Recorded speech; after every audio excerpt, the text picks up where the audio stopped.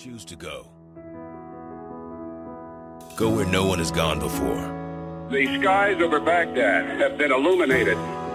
Where no one else will go today. You can go in search of answers, only to find more questions.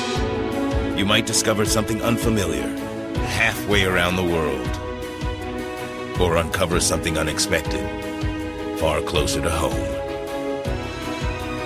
Sometimes you might need to look back to see how you got here and where you might be headed. And just when you think your journey's reached an end,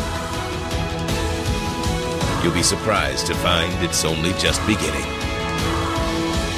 But you'll keep going because it's your journey, wherever